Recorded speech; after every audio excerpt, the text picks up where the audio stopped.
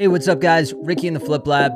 Today we're gonna go over when you're negotiating with a seller and you're trying to figure out what is the most I could pay for this house. That's what we're gonna go over today. A simple formula that our team uses, how we've bought in all of our flips, that literally a first grader could be doing this math to figuring out what our offers need to be at. So stay tuned to the whiteboard. I'm gonna show you guys how to do it. So guys, before we jump into the numbers on the whiteboard, I do want to make this point that depending what market you're in, it's going to completely change things like how to comp properties, how to calculate rehab costs, how to calculate your soft costs. Because in a state like New Jersey, where property tax is very expensive, it's going to change the numbers compared to a state like Arizona. where Property tax is cheap when you're looking at holding costs or things even like realtor fees in one state might be higher than in another state when it comes to what an average realtor is looking to make commission wise. Even things like profit of a flipper. A flipper in Phoenix wants to make 25,000 on a $300,000 project.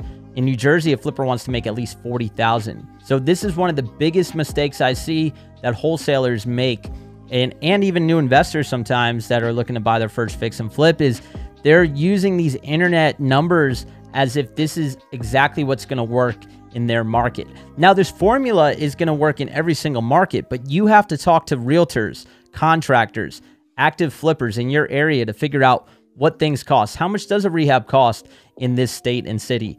How much does a new roof in Phoenix, Arizona cost compared to New Jersey? Because in Phoenix, the common roof is tile. In New Jersey, it's shingles. So that cost alone is going to be very different. New Jersey has a lot of basements.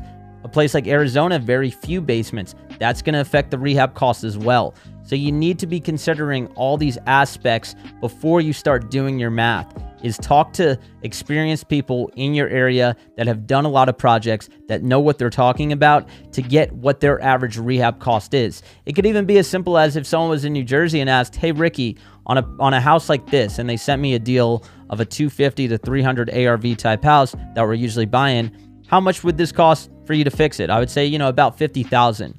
And then if they got that same answer from a few flippers, now they know that's about how much a normal rehab costs in New Jersey. So make sure that you're talking to people in your area, getting your numbers in your city down packed so you're not buying bad deals. Yeah.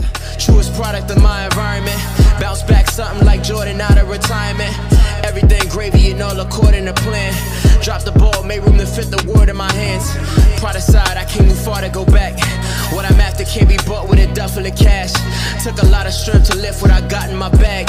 Wouldn't take a thing at all to make up what I lack. Not to say I got it all, but I do got it like that. Built an empire. All right, guys. So before you start making offers, you have to get your numbers down packed. What I mean by that is figuring out the ARV, the MAO, and everything in between. I'm going to go over exactly how to calculate those numbers. So the first thing you're going to have to figure out is the after repair value, ARV.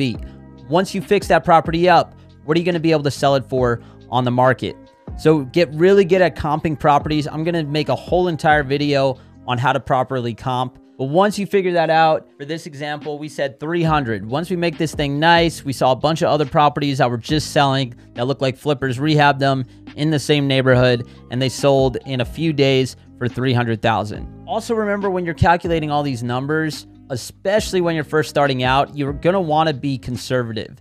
So always, if, if there's three different comps and one's 310, one's 300, and one's 305, average it out and then even go a little bit more conservative. Because if you get good at buying deals off of conservative numbers when you're first starting out, when shit goes wrong, which it usually does, you know, rehabs cost more than you thought, shit takes longer, there's problems, maybe the house doesn't sell for as much as you thought, you want to still be able to make money. So always be conservative when you're when you're going through these numbers when you're first starting out. So next, you want to figure out what the rehab cost is. What's it going to cost to fix this entire project? Most of the houses we pick up, give or take $10,000 is a they're they're costing about the same. We have to do all new flooring, paint, cabinets, redo bathrooms, buy fixtures. All these things roughly cost about the same.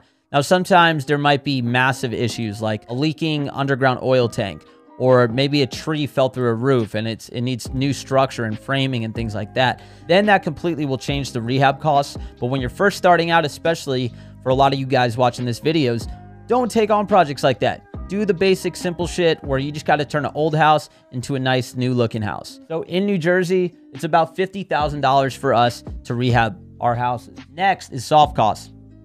I can't tell you how many people just disregard soft costs in, in general and don't even factor these in. You have to be factoring these in. So, what I mean by soft cost, commissions. When you go and sell the property on the market, you're probably gonna have to pay commissions. Now, Steve, my partner, he's a licensed realtor, so we save some money listing our own properties, but we're still having to pay buyer's agents. Next are closing costs. When we buy the property the first time, we have to pay closing costs. And when we go and sell, we're also paying closing costs, tax. During our projects, which our typical project will take four or five months, we're having to pay property tax for all of those months. In a state like New Jersey, those where property tax is really high, those costs can add up quickly and can be pretty substantial. Utilities. So while we're rehabbing the house, we're having to pay for water, electric, things like that. Insurance. You have to get insurance on the property when you buy it. Inspections. So things like the CO inspection before you can sell the property, you're going to have to pay for those.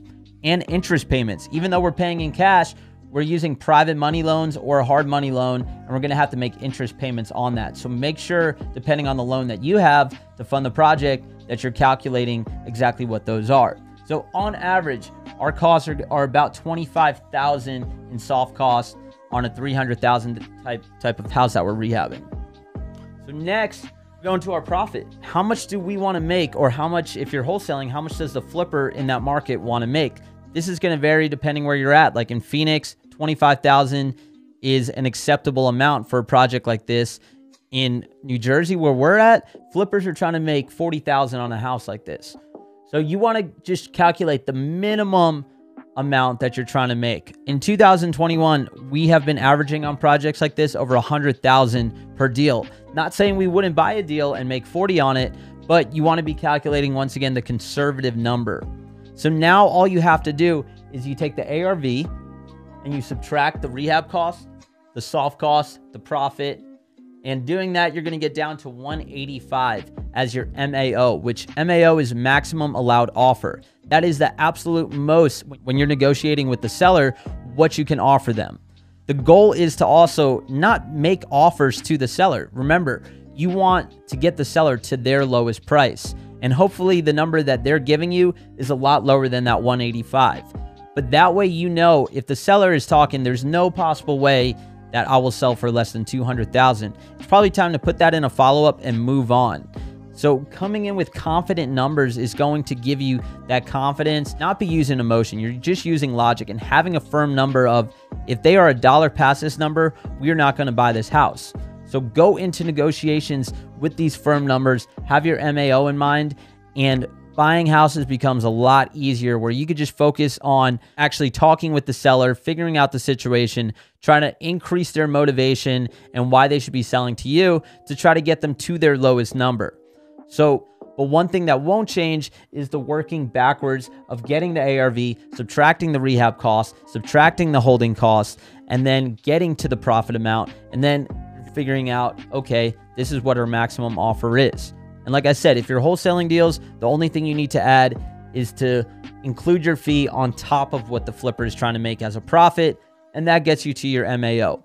Get good at calculating MAO, and you're gonna get more deals. All right, guys, so now that you know how to do the math and figuring out your maximum allowed offer, start talking to sellers. These deals aren't going to buy themselves. You still have to get out there and talk to as many sellers every day as possible. Use this simple formula to not overcomplicate yourself. Don't let, you know, the details of the, you know, at 12%, it doesn't work, it doesn't make the deal work, or this or that, or trying to figure out every little bit of the rehab to make deals work. Let deals come to you. Let deals just obviously, when you, you look on the board, do this basic math that it makes sense.